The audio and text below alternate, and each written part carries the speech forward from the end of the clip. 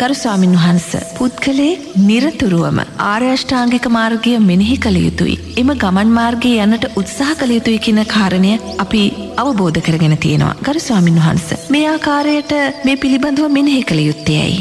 මේ ලෝකයේ දුක තුනිකරන එකම මාර්ගය ආරෂ්ඨාංගික මාර්ගයයි ආරෂ්ඨාංගික මාර්ගයෙන් බැහැර දුක තුනේ කරන මාර්ගයක් මේ ලෝකධාතු තුළ නෑනෝන.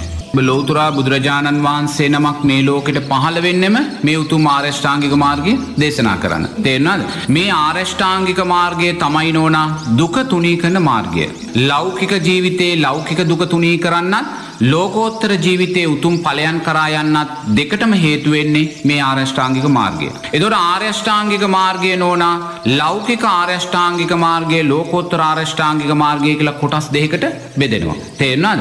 එදොට අපි මුලින්ම මේ ධර්මාර්ගය තුළ ගමන් කරනකොට නෝනා ලෞකික ආර්යෂ්ඨාංගික මාර්ගය තුළයි ජීවත්තයෙන්. එතොට ලෞකික ආර්යෂ්ඨාංගික මාර්ගයේ සම්මා දිට්ටිය කියලා කියන මොකක්ද තෙරුවන් කෙරෙයි සද්ධාව කර්මය කර්මඵල විශ්වාසය මැරිලා හේතුඵල ධර්මයන් අනුව නැවත ඉපදිනවා කියෙන විශ්වාසය දන්දුන්නොත් සිල්රැක්කොත් එහි ආනිසංස තියෙනවා කියෙන විශ්වාසය අම්මා තාත්තාගේ ගුණයන් තියෙනවායි කියෙන විශ්වාසය. දැන් ඔබතුමිය ඔය විශ්වාසය තුළ ජීවත් වෙනවාද ජීවත් වෙනවනං ලෞකික සම්මාධිට්්‍යය තුළ ජීවත් වෙනවා. එතකොට නෝනා ඔබතුමිය ලෞකික සම්මාධිට්්‍යය තුළ ජීවත් වෙනවනං.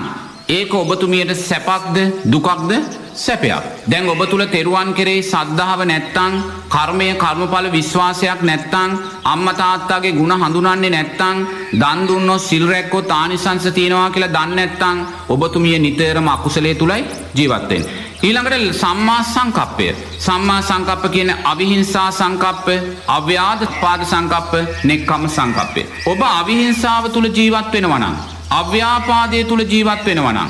නෙක්කම් මේ අතහැරීම මොනවද අතහරින්නේ ලෝබ දවේශ මෝහයන් අතහැරලා අලෝභ අදවේශ අමෝහයන් තුළට එනවා. ඔබ එහෙනම් මේ අවිහිංසාව තුළ අව්‍යාපාදය තුළ නෙක්කම් මේ තුළ ජීවත් වෙනවනං සැපද්ද දුකක්ද සැපයක්. එන ඒ සැපයට තියෙන මාර්ගයක්. ඊළඟට බුදුරජාන් වහන්සේ දේශනා කනවා සම්මා වාචා යහපත් වචන. ඔබ බොරු කියන්නේ නැත්තං පරුස වචන කියන්න නැත්තං සම්පප්පලාප කියන්න නැත්තං ඔබ තුළ දුකක්ද සැපත් ඇතිවෙන්නේ සැපයක්. ඉරවත් සම්මා කම්මන්තෝ. ඔබ සතුන් මරණවනං ඔබ සොරකම් කරනවනං කාමේ වර්දවා හැසිරෙනවනං ඔබ සැපෙන්ද දුකෙන්ද ජීවත් වෙන්නේ දුකේ. නමුත් ඔබ සතුන් මරන්න ඇත්තම් සොරකම් කරන්න ඇත්තං කාමේ වර්දවා හැසිරෙන්න්න ඇත්තං ඔබ සැපයක් ලැබෙන.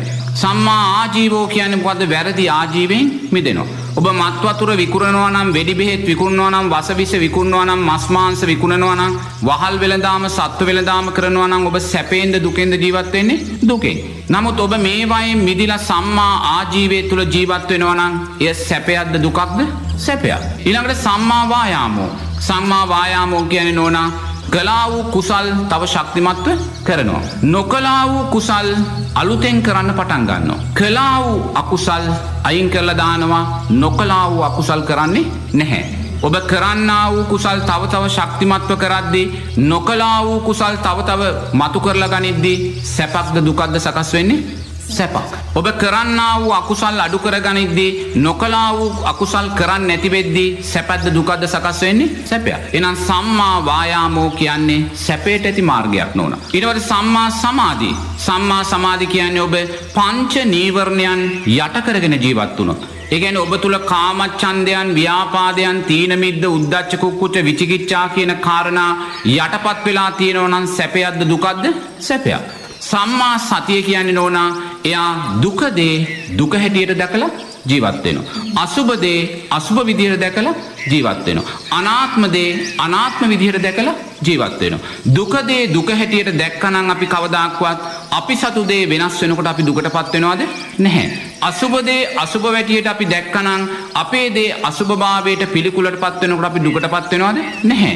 අනාත්මදේ අනාත්මභාවයට දකිද්දේ අපි තුළ තියනදේ වෙනස් වෙනවනම් අපි කවදක්ත් දුකට පත්වෙනවාද නැහැ. ඒනන්න ඕනා සම්මා සතිය තුළ ජීවත්වෙද්දී එක සැපේට තින මාර්ගය. ලෞකික ආරෂ්ඨාංගික මාර්ගය සැප ලැබෙන් නව මාර්ගය. නමුත් මේ ලෞකික ආරෂ්ඨාංගික මාර්ගයම. ලෝකෝත්තර නුවනින් දකිද්දේ අන ලෝකොත්තර ආරෂ්ඨාංගි මාර්ග සපත්වන. දැන් ඔබතු මේ හිතන්න දැන් ඔබ මේ ලෞකික ආරෂ්ඨාංගික මාර්ගයේ තියෙන්න්න වූ සැපය දැකලා. ඔබ ලෞකිකාරෂ්ඨාංගික මාර්ගය තුළ ජීවත්වයන. එතුොට ලෞකිකාරෂ්ඨාංගික මාර්ගය තුළ ජීවත්වනකට ඔබ තුළින් වැඩෙන්න්නමකක්ද කුසල් පක්ෂයමයි වැඩෙන්. එතට කුසල් පක්ෂය වැඩෙන්න්න වැඩෙන් ඔබ කොහට දෙයන්නේ සුගතියට. නමුත් ඒ සුගතිය කියනදේ නිත්‍යද අනිත්‍යද අනිත්‍ය. මේ කාරණා තුළින් වැඩෙන්න්නා වූ සුගතියට අදාළ සංස්කාරයන් අනිත්‍යයි කියල දකින වෙලාවේ ලෝකෝත්තර සම්මාධිත්‍යයට පත්වන ලෝකොතර ආරෂ්ඨාංගික මාර්ගයට පත්වෙන. මේ ලෝකයේ තියෙන සැප වැඩෙන මාර්ගය ආරෂ්ඨාංගික මාර්ගය. එනම් ඔබට අද දවසේ ජීවිතයේ ප්‍රශ්නයක් ගැටලුවක් මතුවෙනවනං ඒ ප්‍රශ්නය ගැටලුව මතුවෙච්ච තැනදි ඔබ හොයන්නවා ප්‍රශ්නය කොතනින්දාව කියන කාරණය නෙමේ. ඔබ දකින්න ඕනේ ඔබ ආධාරෂ්ඨාංගික මාර්ගය හිටිය නෑ කියන කාරණ. ඔබ ආධාරෂ්ඨාංගික මාර්ගය තුළ හිටියනං ඔබට ප්‍රශ්නයක් මතුවෙන තැන නැහැ. ආරෂ්ඨාංගික මාර්ගය තුළ හිටිය කියන්න ඔබ සතිය තුළ හිටිය. සතිය තුළ හිටියනං ඔබ හේතු පල ධර්මයන්ට අනුව ධර්මයට අනුව ලෝකය බලන්න ලෝකය ගලපගන්න ලෝකය දකින්න දක්ෂ.